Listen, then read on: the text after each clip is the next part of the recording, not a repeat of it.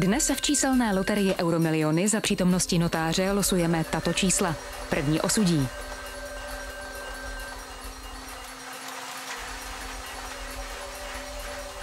Třicet.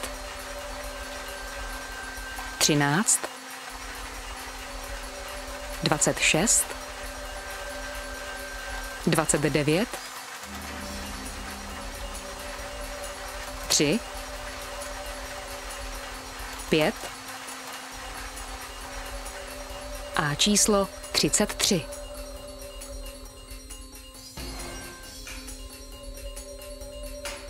Ze druhého osudí losujeme jedno číslo z pěti.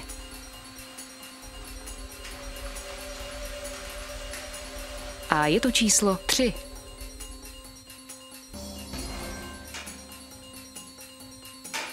V Eurošanci losujeme následujících pět čísel.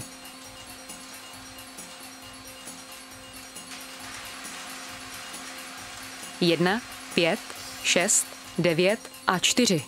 Všem výhercům gratulujeme.